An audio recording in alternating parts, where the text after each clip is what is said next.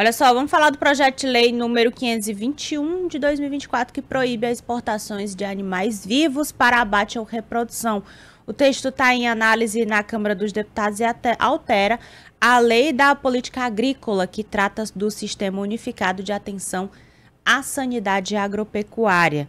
O deputado licenciado Célio Studar, do Ceará, que é autor da proposta, diz que atualmente o transporte de animais por via marítima para exportação levanta preocupações por conta das condições insalubres e os espaços reduzidos, que para ele constituem maus tratos evidentes.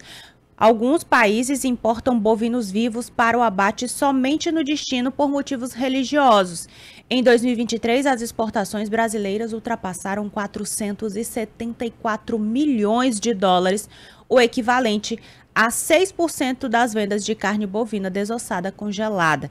Atualmente, a Coordenação de Boas Práticas Agropecuárias do Ministério da Agricultura e Pecuária oferece orientações para o transporte de cargas vivas, visando aumentar a segurança, evitar a dor e reduzir também o estresse desses animais. A proposta tramita em caráter conclusivo e será analisada pelas comissões de Agricultura, Pecuária e Abastecimento e de Constituição, Justiça e Cidadania da Câmara dos Deputados.